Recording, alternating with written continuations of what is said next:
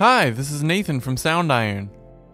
Today I'm going to show you some simple ways to use your MIDI controller most effectively.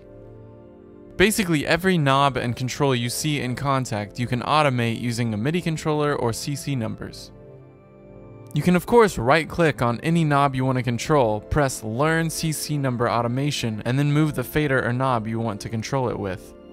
But Kontakt also has this automation tab where you can see all the pre-assigned controls and edit them.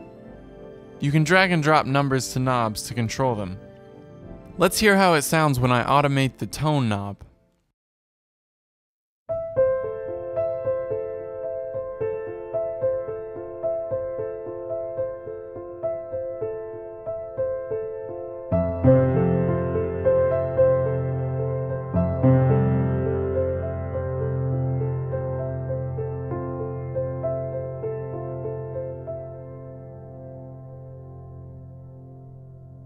Another thing I like to do is automate the effects rack. You can do things like roll the reverb mix higher and lower.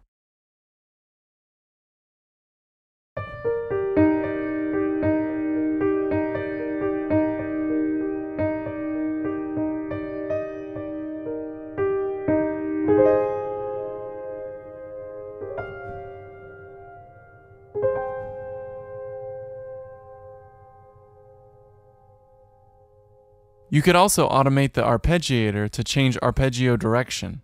This is great if you know you want to use certain chords but need some new ideas.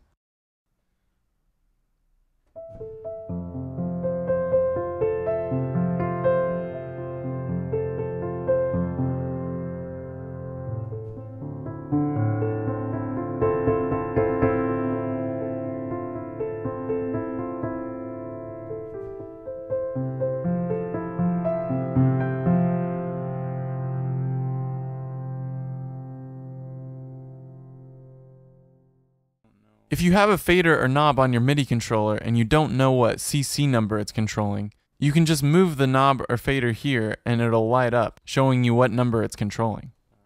Logic X also has smart controls built in that you can also automate. The last thing I'll show you is if you want to limit the range that your knob is controlling. You can adjust this number from 100 to anything you like. Then when you turn your fader all the way up, you're only turning the effect 30% up. You could also control two effects with one knob or fader. Let's hear what that sounds like.